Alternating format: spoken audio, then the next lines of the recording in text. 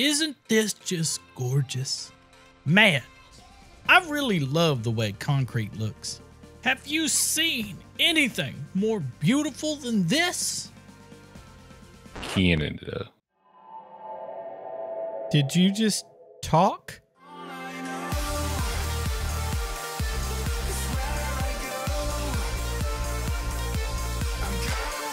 What's up, y'all, and welcome back to another episode of All the Mods 8. Today, we're going to be tackling Mekanism auto crafting. Guys, if you like this video, make sure you hit that like and subscribe button. Let me know in the comments below what you'd like to see, and let's get started. Also, there's kind of a little special surprise that I set up, and uh, just, you know, you know, next playthrough video, you might want to uh, keep your eyes peeled. So let's set this up just because I know how it's going to be. These are the alloys that you have to make within Mekanism, right? These are kind of annoying to make. You need a metallurgic infuser with some redstone inside of it, some iron, it'll give you some infused alloys. Well, that's kind of annoying to make. So what I'm going to do is I'm going to come over here and we're going to grab the recipe for the metallurgic infuser. We're going to make sure that we want the system to know how to make all of these just in case it needs it. Grab the recipes for these two, stick them in here, and now we should be able to make a metallurgic infuser. About 10 of them. Bam there's 10 metallurgic infusers. Let's act like we're going to make a bunch of these infused alloys real quick. What we're going to need to do is we're going to need to set this up where crafter is pointing at the item or the block that we want.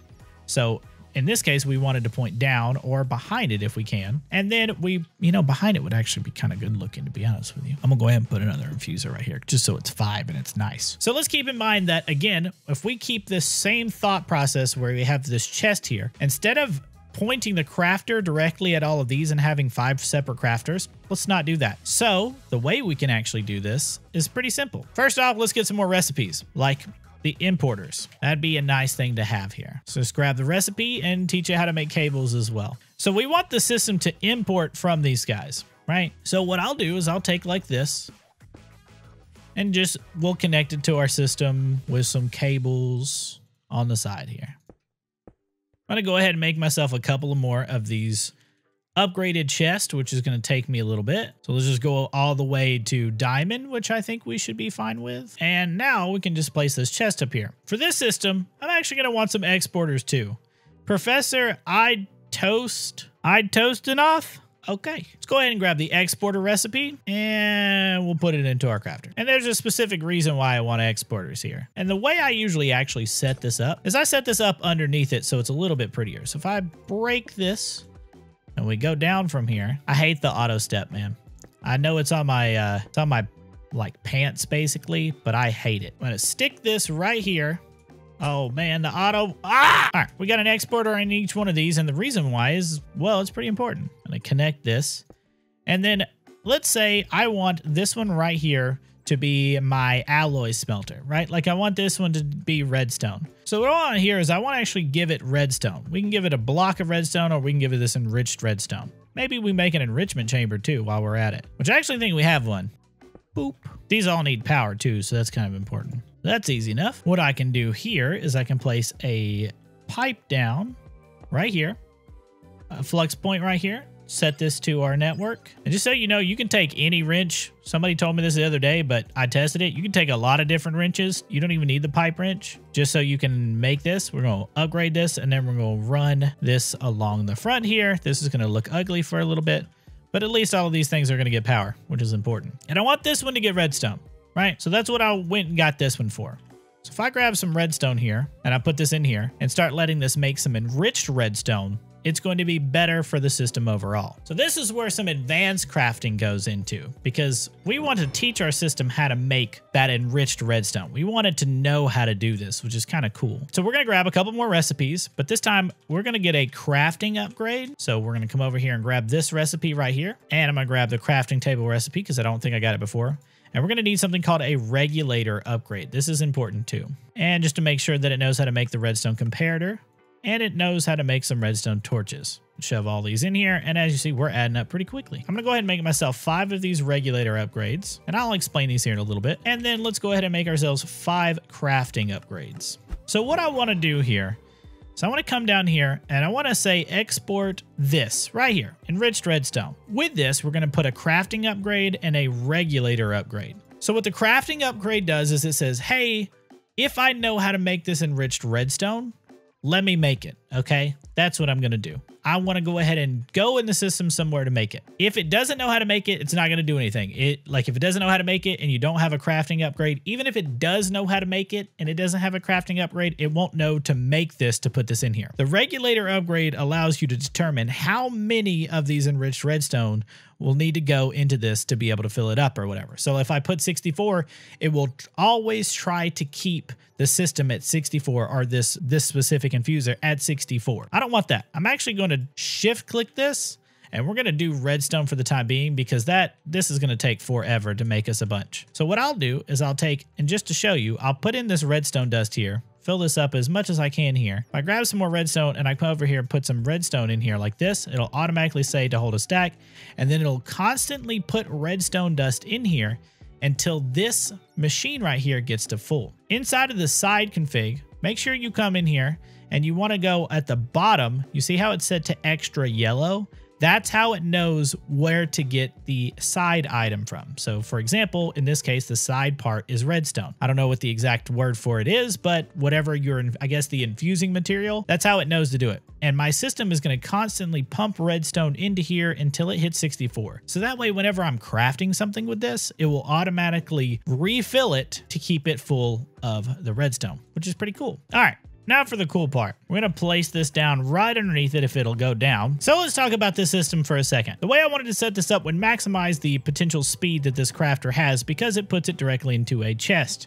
So the problem with that is the fact that if I wanted to, this one, to specifically make myself some redstone alloy, if I set this all up, I'd have to make it where I had a chest for each one of these infusers or whatever and that would make it a whole lot faster, which I do want to do. So basically, I would have to have a chest for each one of these and a netherite crafter for each one of these as well, which I guess I don't really mind to have the faster ones, but let's do the netherite upgrade.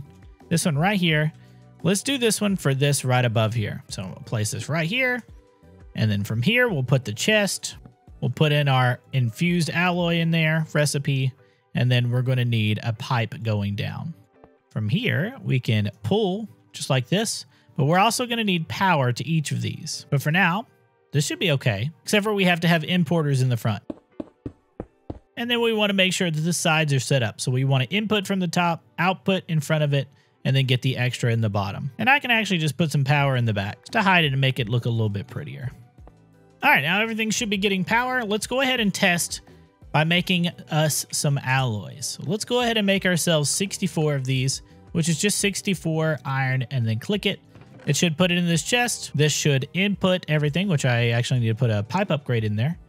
And this is slow. This is going to be really slow, but this will automatically make it where it'll say, hey, we made ourselves an infused alloy. So now we have this basic setup going, which is nice. Just to recap how I have this set up. The crafter is just pointed into a chest to get maximum speed of being able to output into the chest. Then this outputs into this infuser here. This will pull it into the system and then it will output via the importer here. It gets its redstone from underneath. Underneath here, we see this exporter right here that says, hey, I want to export redstone and I want to make sure that I regulate it to keep 64 redstone in there so that it never runs out of redstone and stays full. And it's always got redstone to be able to use this, which is really nice. This gives us a basic system to be able to make us a bunch of the basic things for Mekanism. Now, with this specific chest, I can actually hit U here and look at all the things that redstone plus an item makes. So like the basic control circuit. And then I can just get the recipes for those real fast, put it in here, and now I can make a basic control circuit. So if I wanted to say I want 64 of these, make me 64 of these, it'll put the osmium in here. And then once this is upgraded and once this is done, it'll make us some more. Cool. But with this idea, we can actually make all the way down on all the different kinds of things. We make the reinforced alloy if we set one up for diamond, and then we can set the atomic alloy up if we set one up for refined obsidian, which we're going to go ahead and do. So how are we going to set this up so where it doesn't actually intertwine like this, you know, because that's going to be annoying, right? If we just put another ultimate pipe right here, it's going to automatically mess up. I don't want to do that. First thing I want to do, grab some diamonds down here and then set this back up. We can do the extra stuff a little bit later, but for right now, we're just going to put a regulator upgrade in here. And we're going to set this to 64. Oh, that's right. You got to get diamond dust to be able to do that. So we will have to enrich it. So let's just go ahead and take this out of here. You can hold shift control and shift to do that. And then we can come over here and enrich us some diamonds here. So let that start working. I don't know if this is, this has power, right? Okay, it does. Then we'll take some enriched diamond over here. We'll come down underneath it and then we'll put the enriched diamond in here and we'll want to put a crafting upgrade in here. So that way it says, okay, I, if I know how to craft it, I'll craft it first. So let me go ahead and put the enriched di diamond in here. And then what I'll do for now is I'll come over here and I'll grab myself another crafter here and we're going to set this up exactly how I have it set up already already. We'll just put the crafter facing down just like this across the board. Well, almost across the board. And then we can go ahead and make ourselves another couple of these netherite crafters. All right, netherite crafter going down right here. And then we need more chests. Okay, diamond chest. And just because this is an item pipe, I'll just stick the last item pipe I have right here. Make it easy. We'll stick in our advanced pipe upgrade and then we'll give this recipe here in a second. What I'm to do with this is I'm actually to come over here and type in enriched, and then I'll just get the enriched itemed. Like I'll get all of the enrichment recipes here, so that way our system will know how to craft all of this, except for the enriched gold and enriched tin. We don't need those two. We can just come over here, throw these in here, and now the system will know how to enrich us some diamonds. We'll also need an importer on the front of this too. Bam. And then we'll want to configure this same thing. What I like to do is I like to clear, click this button at the bottom, so that way I can actually say input, output, and then that's, this one doesn't need the other thing and then we can just do auto eject. It doesn't need the extra. So just input, output, make it simple. And then you can do this to each one of these if you want to. The key point of this is to make it where it's easier for you to track how things work. Because if all of these are set up wrong, it's gonna have a, you're gonna have some problems. So the way I have this set up, input at the top, output in the front, extra on the bottom. And this one's gonna be our diamond. We see that this is already full. We can do the same thing here. We're gonna grab this enriched redstone that we have out of here. And then instead of redstone here, again, control shift click, we'll put this in and then click it and set it to 64. So that way it knows to craft it. Just because we don't have everything like sped up, we'll set it to one. So now let's set this up across the board. So the cool thing I could do is I could like go back and forth through this. So for example, I can put an item pipe here and then a universal pipe beside it, and then item, universal, item, right?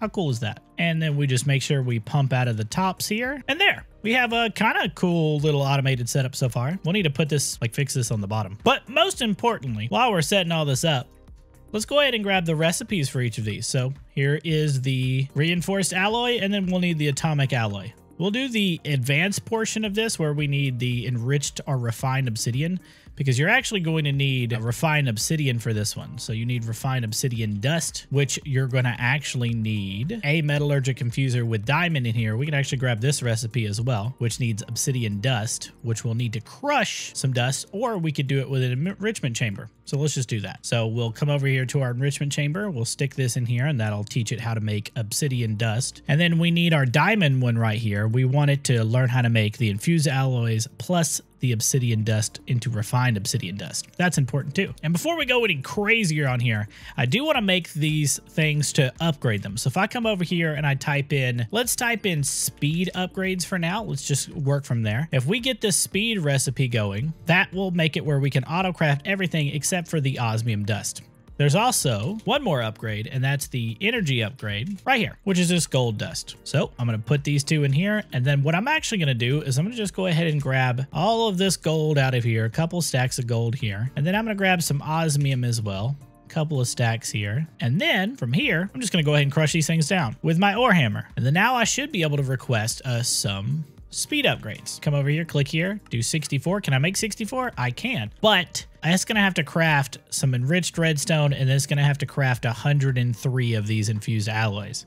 But if we look closely, it already made us 13, which I can use to upgrade this. So there's two ways you can upgrade this. You can take and stick it in this top slot right here, or in the world, you can shift right. Oh, in the world, you can shift right click it like this and it'll just automatically install it in there. Do keep in mind though, that you have to be able to make more power or enough power to actually power this. The machine will constantly bug in and out if it can't get enough power. And that's what the energy upgrades are for. So we want to make this faster. We can make something called a tier installer. I'm gonna go ahead and grab all the recipes for these because these are kind of expensive recipes. As you see, we're to need things like advanced control circuits. And then we have this right here, which we're going to need elite control circuits. And then we have the ultimate tier installer. which we're going to need for ultimate control circuit. So all of these go in here, and then I can come over here and type in basic tier installer.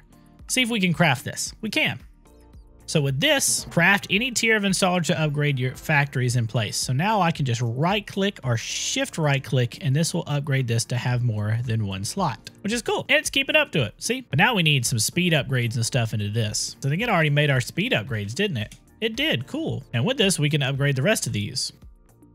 Now, let's see if we can get all of the tier installers that we need. See if we can make five of these basic ones. We did. Sweet. So now we can upgrade each of these. You do want to go in here and make sure you turn on auto sort on each one of these so that way it uses all three of the channels instead of one. Okay, so we have the first two set up with diamond and everything. I believe now we can make ourselves some refined obsidian dust because now we can take that refined obsidian dust. We should be able to make us enriched obsidian dust here. So enriched obsidian, let's make five of these. There's one. That's all we need for now because now we can set this one up so that it can be our refined obsidian one. So if we come over here, shove this in here, we put one of the crafting upgrades in here, just one, and a regulator upgrade. Now it will try to keep one in here as much as it can, and it will also craft it if it doesn't have it. So we should start seeing some refined obsidian dust coming over here. These are all max upgrades. You only need eight per machine, but it's going to come over here, make it here, come over here and make it here. Pretty cool. Problem is, is we are limited by these crafters being regular crafters. So make you some netherite crafters and replace them. Just make sure you put the right thing in the right place. So like this one takes these two, I believe. This one goes here. Cool thing about this now, so if I come over here, and I want that the advanced tier installer, which is the next one. It should know how to make everything to make this. So if I wanted to upgrade all six of these items down here, I type in six, it'll go ahead and try and make all of them. Did it already make all of them? Oh, it made one of them, two of them, three, four, five, six. Cool. So now we can do the same thing, shift click these to upgrade them all to the next tier and auto sort is on on these. This just makes these faster and better over time. So I wonder if we can go to the next tier upgrade, which is the elite tier installer. And I click five and make five. Let's see how fast it makes these five. We are limited to how fast this is, but look, it was running out of energy for a second. So we're to need some energy upgrades on these. Did it craft all those elite tier installers already? It did. Cool. I need one more actually. Okay, so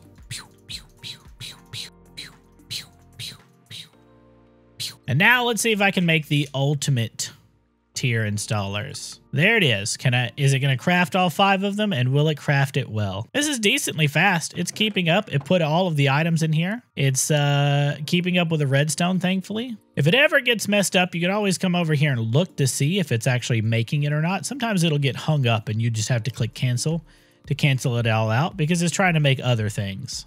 Like this one, is messed up for whatever reason because this output looks a little messed up. So let's go make sure we get that enriched, oh, the enriched redstone right here. Well, let's make sure we get the proper recipe for this because it looks like it wasn't making the proper recipe. So now let's see if it'll do it.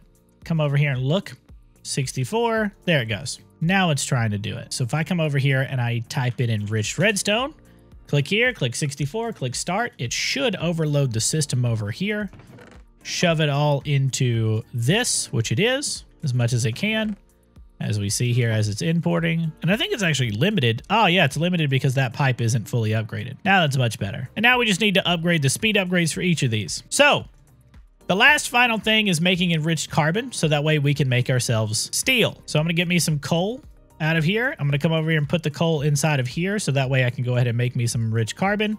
And then I'm to actually set up the enriched carbon under here. Again, regulator upgrade, crafting upgrade. And then this way we can make sure that inside of here, it will get enriched carbon, which is good. And we can leave this other one for right now. You can make it enriched carbon as well. But we want to grab two recipes. First up, we want to type in at mech steel, and then let's get these recipes. The first recipe we're going to grab is the steel dust recipe right here. This goes for a furnace. We want the steel dust recipe, so you could use some kind of ore hammer, or we're going to make ours using the infuser here. So we're going to grab this recipe right here, which it looks like we're out of patterns. See if we got any more patterns in here. We do. And then now I want to make this enriched iron, which is just iron plus some enriched carbon. So you can come in your crafting manager here and look, we got diamond chests. You can rename these if you wanted to. I guess you could probably name them a little bit you name the crafter itself, which is probably right here. So I'm just going to go ahead and throw this in here. So this is going to be for our steel dust right here into steel. And then I'm going to come over here into this crafter right here. We're gonna go into this crafter, and then we're gonna put the enriched iron and the steel dust in here. And then now I need to make myself some upgrades. So now we can just upgrade each of these so they're much faster. And there we go. That's all upgraded. We're going to need a bunch of speed upgrades, or you could just make the elite importers, which we could do that too. So if I type in importer here, let's just grab the recipes for these. Ultra importer, elite importer, and we already have the importer recipe. Put these in here. We type in ultra importer. It looks like we already have an ex exporter. Let's type in six, and we're missing some blocks of iron. We could teach it to make some more of these if we wanted to, but that's fine. So these actually work pretty fast as it is. And there's our six ultra importers. We can hold of this, break all of that, and then put all these in front of them. And there we go. Now we have some super fast importers, and this should actually work fairly fast. Now we can close this ugly hole off on the bottom down here. We kind of need to cover up that too, don't we? Yeah, we have automated refined storage stuff for Mekanism specifically.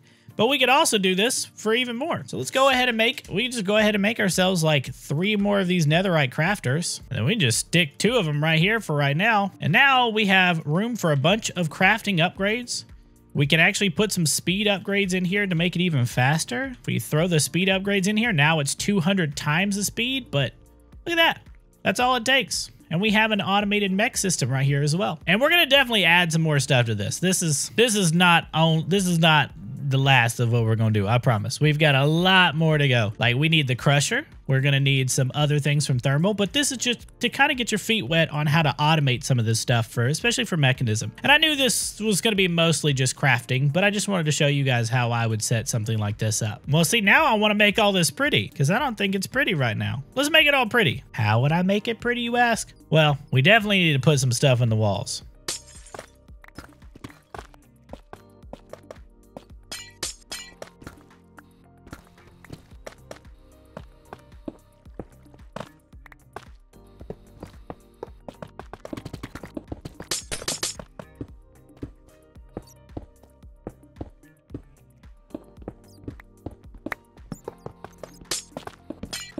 And there we go.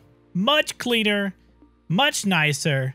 Cables are all hidden in the walls, and I think our cable management is a lot better. So yeah, this is pretty nice. This looks pretty cool. It's pretty clean. I like the actual way this just kind of goes from universal to an item pipe over and over. I like that. All of the cables are hidden behind everything, but it still allows me to craft and everything, which is it's pretty cool. I put the receiver over here in between this and this can be our wall. Otherwise, I really like the way this little room came out to be. I think we need a little bit more decoration on the sides over here and it's going to take some experimenting with some blocks. Otherwise, I think this looks great. And Body's already made himself at home. Guys, this will wrap it up for today's episode of All the Mods 8. Hopefully, this wasn't as confusing. I know this wasn't as exciting of an episode because we just spent most of our time in a crafting grid. You know what?